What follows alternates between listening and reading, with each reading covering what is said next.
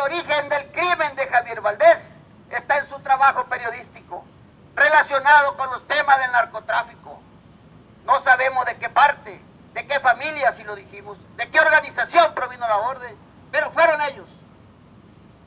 Y ahora le preguntamos al fiscal de Sinaloa y al gobernador Quirino Ordaz Coppel y al fiscal federal Ricardo Sánchez, ¿qué les falta para dar con los asesinos? ¿Dónde se estancaron las investigaciones? ¿Por qué ese silencio cómplice y criminal? ¿Cuánto tiempo más